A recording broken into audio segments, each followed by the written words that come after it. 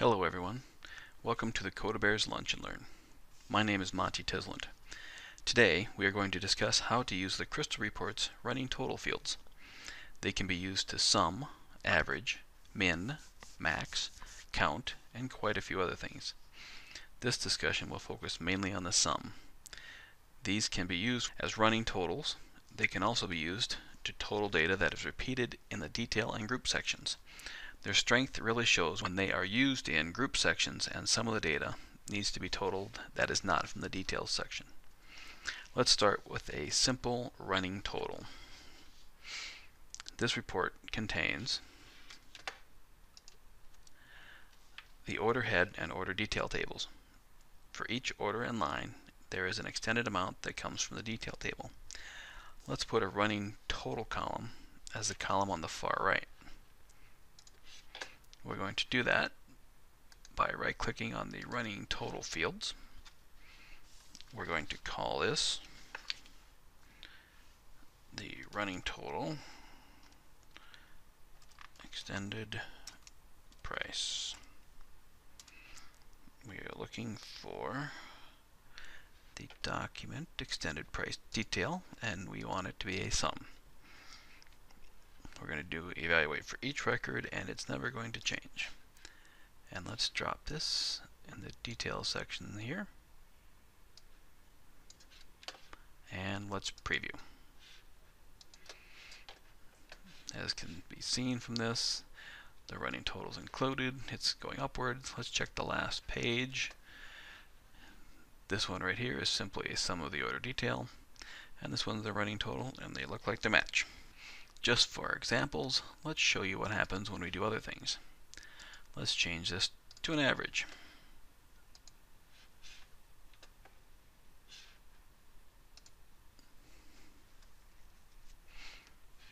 How about, let's try,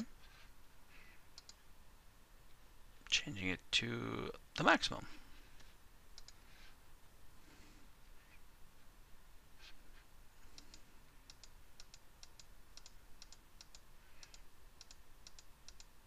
Looking for here. I'm looking for one where it changes. And then some point in time we should get to one. Oop, there we go. It maintains the maximum until it finds another higher one, then it keeps right on going. Ooh, how about, let's do another one. How about, let's do a count.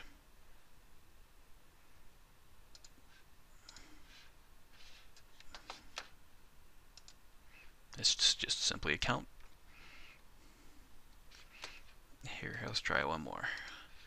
Let's try, how about, what is it, the weighted average. Let's put, let's, let's weight it with, whoops.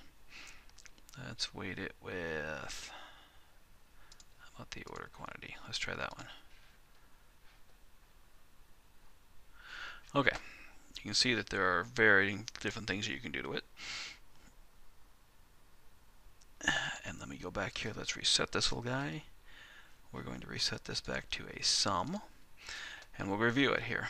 We took the document extended price detail. We're going to sum it. We're evaluating for each record, and we never reset it. Now that's the simple view. Let's take a little more. Let's take a little more complex one, and let's look at our second example here, in a complex one. This one has two groups and it is summing totaling at the bottom here. If you look at the bottom here at the sum total, this is the sum total that's generated by this. As you can see, it's a little bit off. So we need to solve that problem here. I buried this one in here before the party. This is a running total based on what the total amount should be. So let's go back here so let's take a look at this. This report contains the order head, the order detail, and the order release tables. For every order in line, there is at least one release. We would like to keep track of the order total as the running total and a grand total at the bottom, which is what I did here already. The difference with this one this order comes from the order head table, and we are displaying data for the details section as a drill down report from the order release table. So let's take a look at this here. The second column from the right, the order amount sum, for this if we look is valid. But again, the grand total is a little messed up because that one's coming from the order head table. Because of that, the same value appears on each line, and when you sum that value, you are totaling up all of those up, and that is not what we want. So now let's add a running total field to this. Let's go back to the design. We are going to, let's expand this. Let's create a new one here. Let's call this the order amount. Running to amount, running total. Come on, running total. There we go. All right. So let's grab the order head, order head document, order amount. We're going to sum it. We are going to evaluate it on the change of group number one, but we are never going to reset it. So we're going to drop this into our group footer number one. So let's drop it into here, down below that. Make it a little bigger. And let's take a preview. Start off 94,000, we had another 320, 419 out of 36, so, and as you can see, these two match. so that must be a good thing. So let's kind of review again how or why it work. Let me go back to this first. I'm going to edit it. So we are summarizing the document order amount, which is the same column. We're summing it. We on we are evaluating it on the change of group number one. So every time that group number one changes, which is the order detail order number, we're evaluating it by each order, and we're never changing it. Let's say we wanted to change this into a running total field. In order to change this simply into a running total field, all we have to do is change it so that it resets on the change of a group, the same group. So we'll change that. We'll preview it. As you can see, the order amount just simply changes each time you do that.